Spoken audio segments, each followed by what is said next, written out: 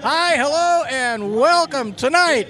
A special live edition of 805 Sports Talk. For the next 30 minutes, we're talking rodeo. The Santa Maria Elks Rodeo is underway. This is the second night, and we're here live to bring you some of the excitement. The excitement and the crowd are building as we get ready for the second night's performance, and we're happy to be here live. Now, as I said, this is the second night. Thursday, yesterday, the whole thing began. They had two performances, and it all kicked off early in the morning. 6,500 kids were on hand for the annual Minetti Mini Rodeo. You can see the crowds there in these pictures brought to you by Jason Anderson and Braxton Carroll. Look at that crowd, a full arena of children. It was all about the kids. 6,500 of them on hand. First thing they saw was skydiver Kent Lane flying in one of the world's largest American flags. That thing is gigantic, and we had a special crew from Vandenberg Air Force Base to catch that flag, and it got the show off to a rousing start. And then, of course, that was time for the competition. Team roping was first out of the chutes. It was great. You had uh, young kids uh, from all around the Central Coast, and even one from Bakersfield uh, Caden Cox and Chance Raffoni, a couple of Arroyo Grande high schoolers, won that event. And uh, it was Caden's last time before he graduates from high school and is too old for this. Then came the breakaway roping, and that was broken into two different age groups. And Chance Raffoni from Arroyo Grande High School won the older group, and then uh, Sutton Mang from the Janata School won the younger. And then you get to see a little bit there of saddle bronc riding. Now, that was done by the only grown ups or older people in the group, saddle bronc and bull riding. The broncs were ridden by David Tanksley and Tim Dittrich. They're students at Cal Poly. And the bulls were written by Jake Peterson and Allie, Alan Williams, also students at Cal Poly. But you see the power there of the of the uh, bulls and the uh, bucking Broncos. But they treated the kids to that and then it went back to being just kids' events the rest of the way. Now, there's a couple of clowns. Uh, they had special guest clowns, and one of those was me. The other is Jason Anderson, the guy that took the pictures, who's still taking the pictures right now. But the kids, they go out for mutton busting, and the chief there, Tony uh, Rodriguez from uh, one of the local radio stations, Tony Gonzalez from one of the radio stations, is uh, was calling the action on that, and then barrel racing, a three barrel clover leaf, and that was broken down into age groups with children under six getting the most attention, and uh, Jameson Branquinho was the winner in the youngest age groups, and he's uh, got his second belt buckle as a five-year-old. Uh, and it's not as many as his dad, world champion five time world champion steer wrestler Luke Branquinho. But they broke them down into under six and seven to nine. Uh, Sadie Grant won that group.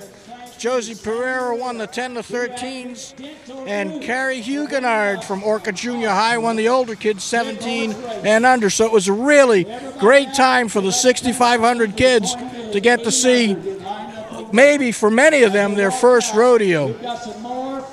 And I'll tell you, the, uh, the, the kids loved it. You wouldn't believe the roar of the crowd. They outdo the grown ups. Now, the arena last night was filled, the arena tonight will be filled.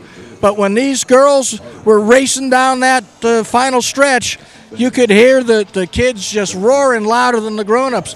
And then, of course, the Flying Cowboys, a fan favorite. Cotton Rosser brings the Flying U Rodeo cow, Flying Cowboys in every year now a motorcycle specialty team, and you can see the jumps that they make. I mean, they come roaring through the arena uh, and just go up these ramps and over, and they do tricks like you would never believe. If you haven't seen them, you really should come out and see them.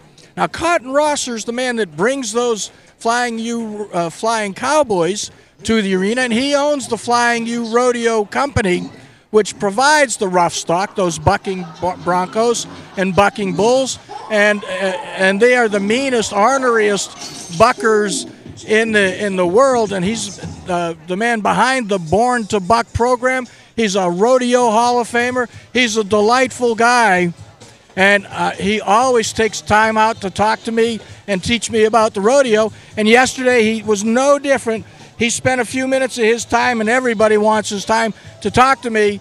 So let's listen in to what Cotton and I had to talk about.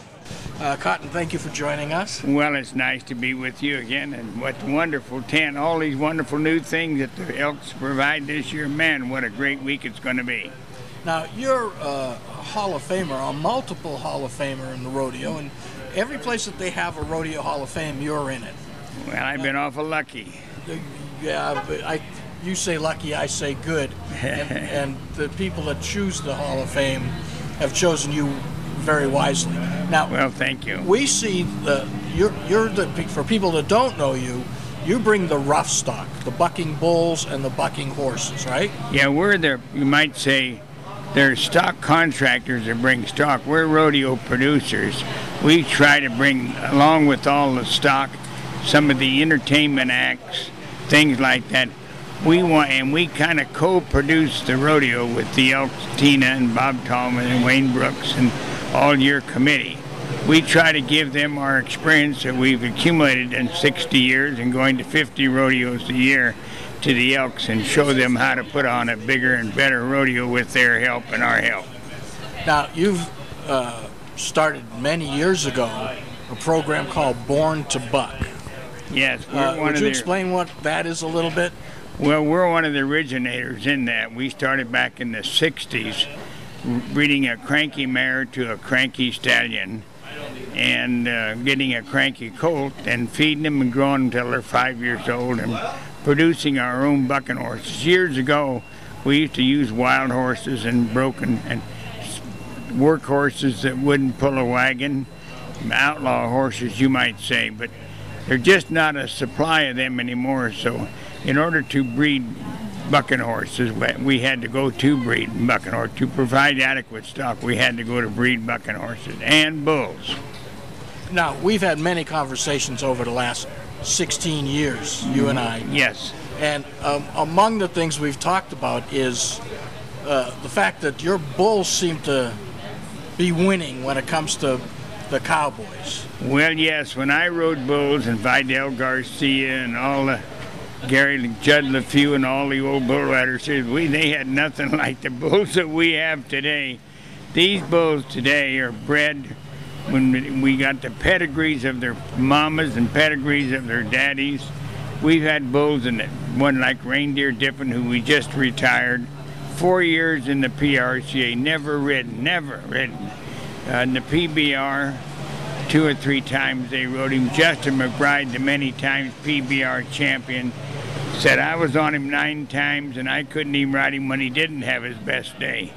But yes, the bulls today are ranker than the cowboys are. They just, it's you know they just, and then we we grain them bulls and take care of them and condition them, and they're ready to go. And of course they only buck eight seconds, and that's seems like not very long a time, but it's a long time to a bull rider sitting on top of them holding on. Now you've told me that you bred a better bucking bull. So what are the Cowboys going to have to do to catch up? Well, they have videos, they study them, they do everything, but I don't know what they're going to do. Uh, they're they're getting better bull riders all the time, better equipment. They're they've introduced the Australian bull riders into the United States, and they're a, they're a tough lot. Of course, they come from a country which so our money is so much better than theirs, and they can win so much money. They're they're tough competitors, and in, in the PBR, they really have, have dominated a lot of world champions, the Brazilian bull riders. But it's it's a battle for the bull rider to keep up with the bulls. Now, this is a family affair and a love affair for your family. I've seen your wife here. You have one of your sons, a daughter. Uh, you're very involved in the rodeo for the whole Rosser family, right? Well, we are very involved. In, in fact, our whole family, of my five children, and my two ex-wives, and my present wife for the last 37 years. We've been all been involved in rodeo, and you know it's been wonderful. I've raised five good children and uh, two, two grandchildren. All went to Cal Poly. and uh, they've had a wonderful life and raised around livestock, taking care of animals and greeting people, and get to go to all these different cities. And you know the people, the cities we go to, like for example the Elks here in this town. You take the finest people in this town are Elks, and these people are all here to produce a great show and take care. You ought to saw the kids we had out here today. I never saw so many yellow buses and one. I don't care where you go and the grandstand, I don't know where they got it, where they put the rest of it, but the grandstand was chuck full. We had a wonderful hour and 20 minute show for the kids, little elementary school kids today. But the people we meet in rodeo are all volunteers. If it wasn't for volunteers, rodeo would not be successful. Elk clubs, Lions clubs, Kiwanis clubs, Mormon church, sheriff posses, and of course you got the Mid-State Fair up there with all their big, big things. But uh, rodeo is really a family affair, and it's, it's family with the committees, family with our family, and even family with the Cowboys. We don't get rich at this, but I'm the richest man in the world with memories and friends. All these awards I've gotten. I've been Grand Marshal of Year parade for three times. People, I've been here so many years, people forget. But I have enjoyed every minute of it. It's just a great thing to do to come back to Santa Maria and see these hard-working elks. And by golly, this rodeo growing and growing, it's getting bigger and better every year, and so is this wonderful facility out here. Cotton, it's always a pleasure and a privilege to spend time with you. I look forward to it every year. Thank you very much for Thank being with you, us. And it's nice to be at my home again in Santa Maria with all my college buddies, man. Cotton Rosser, one of the most impressive people I have ever met. I've had the privilege of knowing him and hanging out with him and actually going on to his ranch up in Marysville and hanging out with 440 of the meanest bucking bulls, but they're all pussycats when they're at home and they're not in the arena. Now, this is all the Elks Rodeo, 73rd annual Elks Rodeo. And really, the man who's responsible for it and has been for the last several years is Phil Harwick. He's the president of Elks Recreation. And Phil has taken time out. He's with me live right now. And Phil, thank you for joining us. Oh, it's my absolutely my pleasure. I'm happy to be here. Now, the crowds have been phenomenal. We know you had 6,500 kids here for the mini rodeo, but last night a huge crowd. Tonight, what are you thinking about the attendance? Tonight, I'm thinking we're probably going to be sold out. This is an exciting event. We've been working on it for years. It's one of the fastest, most ex- fastest moving, one of the most exciting rodeos I've ever seen. It starts out with a bang, and it just keeps on going. Now, we'll talk about that in a second, but there's a lot going on here. There's special uh, presentations. They had a cancer benefit yesterday, and you got this awesome midway. So there's a lot for people to do in, in addition to just watching the rodeo. There is. We have some fantastic vendors on the midway, as well as the Forest Service, the sheriffs, a bunch of race cars, fire engines, fire trucks. Pretty cool. Uh, really good food. A lot of really good food. Uh, on the west end of the midway, we have a, a, a free concert before every rodeo. Good bands. Directly across from it, we have a huge new uh, bar and libation building. It's pretty neat. Directly behind me is our dance tent. After every rodeo, we have a free dance. Good, really good country bands. Another big bar. We have uh, a chance for you to join the Elks. I'm looking at them right now. You can come up here if you want to be part of this instead of just watching it. You can be part of it. Now, they have already been here to say, tell Phil he's got to plug the membership booth. So it's right here when you come into the uh, arena at the Elks Unocal Event Center. You can sign up. It's not that expensive. No, it's not. It's a hundred and a quarter a year. I'll tell you, I belong to organizations where I paid that a month, and uh, not by accident. It's right where you walk up to the grandstands. You are not going to miss it if you come to this rodeo. All right. Well, and, and, it's a fun group, and you guys work really hard. Uh, you know, Tina Tanasha, who never wants her name mentioned, is a huge reason why it's successful, as are you. But now let's talk rodeo. I mean, you've got the extreme bull ri- or string bronc riders, you got the Women's Professional Rodeo Association, and you got the Professional Cowboys Rodeo Association. So that's three different organizations you got to bring together in one arena and make it all like clockwork. It is like clockwork. These folks have been working together for years and years, and they travel the West together. they're good at what they do. They're very, very good at what they do. We have some of the finest performers in America here in Santa Maria right now. Uh, Sunday evening, we'll have a, a, show that's never been seen on the West Coast before. Uh, we have a French bull jumper. We use a special, super athletic, mean little bull. This guy gets in there, and the bull attacks him, and he jumps over. him. He does headstands. He he hops off of their horns. He does all kinds of crazy stuff, and he does this for a living. He's a French cowboy, and all I can say is they must have a high unemployment rate in France because it's a crazy job he has. Yeah, but it's very entertaining, as are the Flying U Rodeos Flying Cowboys uh, and the uh, uh, Justin Rumford, the five-time now world champion rodeo crowd. You got a Hall of Famer in the announce booth. I mean, it just stars everywhere you look. Oh, we do. We do. Uh, we have Wayne Wayne Brooks and uh, Bob Tallman, probably the best two rodeo announcers on earth. A rodeo clown is is uh, he's five times champion. He is so darn funny. He does things that you wouldn't think a guy his size could do. I once see him attach himself to the VIP tent sideways like Spider-Man. It was hilarious. And then he did a pole dance. Talk about a shaking tent, but it was funny. So there's more than just the rodeo, but the rodeo is the star of this performance. Phil Harwick, president of Elks Recreation, I thank you so much. Maybe you'll come back and join us Sunday night. We're going to do it again as the rodeo wraps up. But thanks for being with us. Oh, I'd love to do that. Come on out. This is easily the best show in this town, best show in this part of the coast.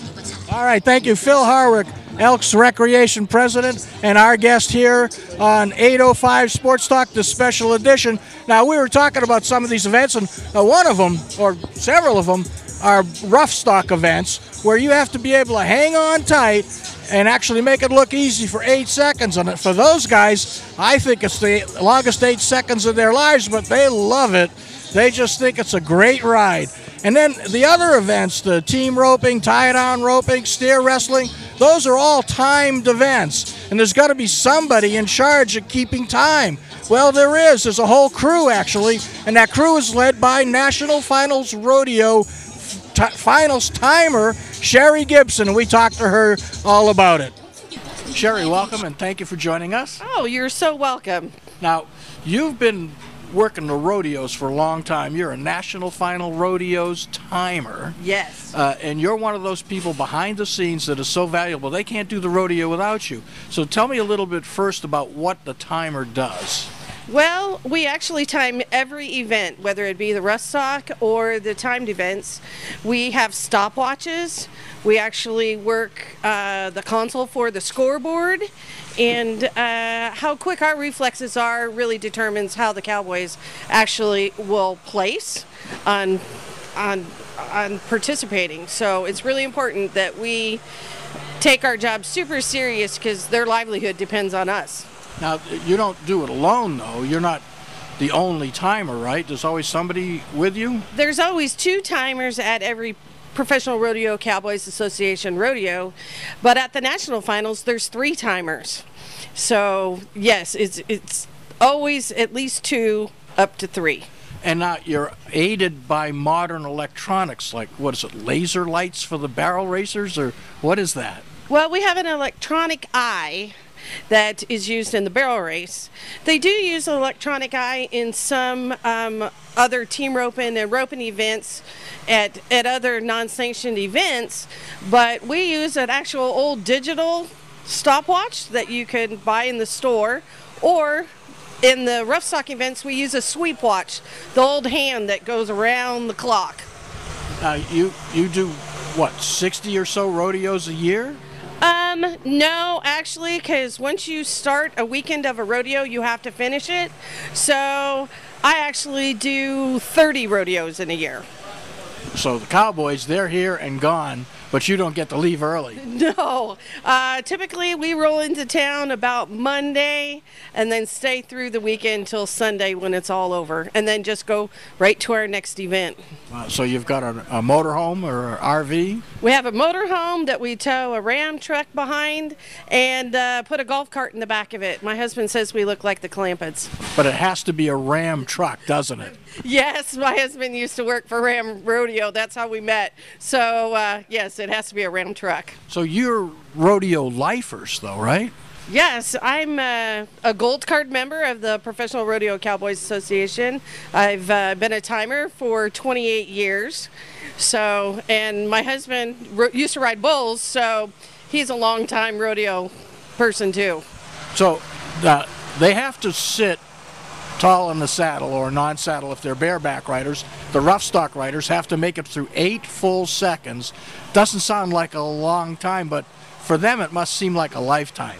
Oh, definitely. It seems like a lifetime. And and talking about embracing technology, especially here, we'll have three judges. So when the contestant either touches the animal or he gets bucked off, the the clock will actually stop and we'll have what exact second he bucked off. So it could be like a 5.2 um, or it could be a 7.99 and he would get a no score.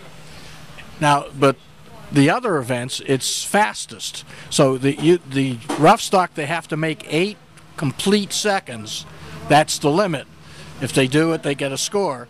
If it's the speed events, the team roping, tie down roping, steer wrestling, barrel racing, as fast as you can go, right? Correct, fast as you could go with the parameter of not breaking the barrier, which would give them a 10 second penalty, which gives the animal a head start. So, uh, our job is to keep track of all those statistics of whether they broke the barrier, add that to their final time.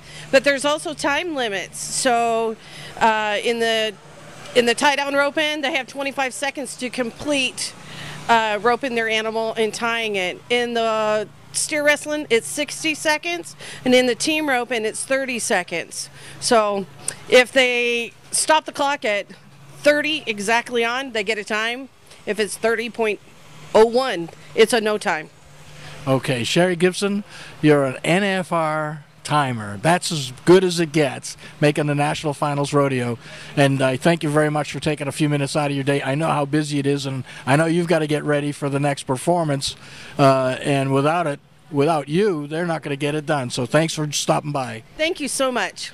All right, welcome back. Sherry Gibson, she's great, and she works really hard at her job. Now, one more thing we got to tell you about.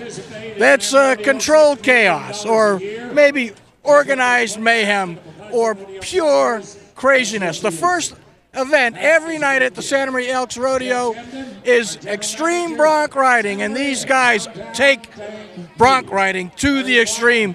It's all organized by the King Crazy Santa Ynez's own Bill Agin. We just talked to him. Let's hear what he has to say. So, Bill. Yes. You are uh, one of the people that really is a prime mover in extreme bronc riding. Yes. Uh, it's been known as a lot of things over the years. Uh, and the point of that is it's been a lot of years. Matter of fact, you've told me several times it's one of the original rodeo events. That's so true. tell me a little bit about the history of it, and then we'll ask you to explain exactly what extreme bronc ride. I know you've taught me how to do it. I can't say that I can. Do it. We did it, that, yes. But uh, uh, tell Okay. me a little about it. We talked about the event. Okay, so the event came from ranch work, right? And when rodeo started, what we know as rodeo today, not just two ranches getting together competing, but where they actually brought the cowboys in, they paid an entry fee, was around the late 1880s. By the late 1890s, you had Cheyenne and and uh, Prescott and a lot of these name rodeos today already in existence. Soon after the turn of the century, you start picking up Pendleton Roundup in Ellensburg and Calgary and all those. So we knew it was a, I mean, it was a sport to stay. Okay, so there were three original events, and the extreme bronc riding was one of those because it was used on the ranch. You went out into the corral, you roped the horse you want. If he wouldn't stand, so you get a saddle on him. Somebody reached up, put an arm over his neck, and held him down, and you put a saddle on him. And um, then you got aboard and you bucked him out, and then you went to work. You know, and that's just the way it was. So it turned into a competitive event real fast.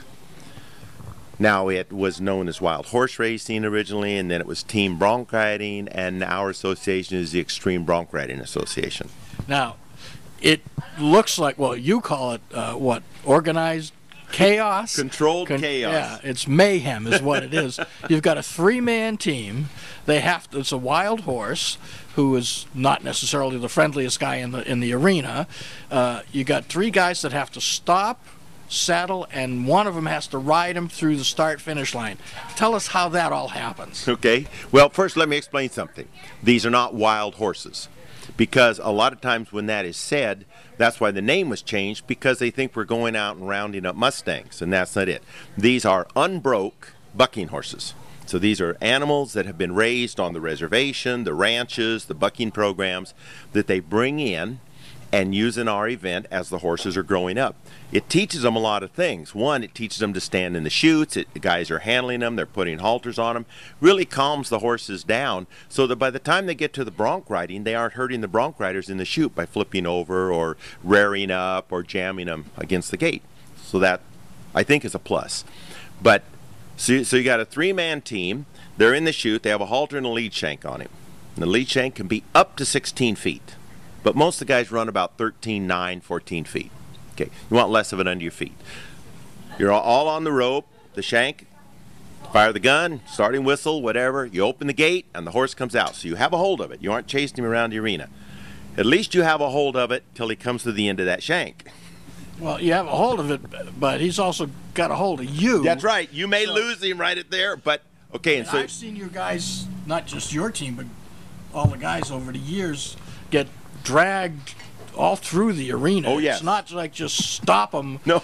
It's Well, I, I for the crowd, it can be very Yeah, entertaining. it is. I'll tell you what you do. Let's take a rope and put it on the back of a motorcycle and then have the motorcycle take off and you try and stop him. That's what it is. Yeah. You got to move with him to start with, you know, and, and slow him down. Now, not all horses are the same.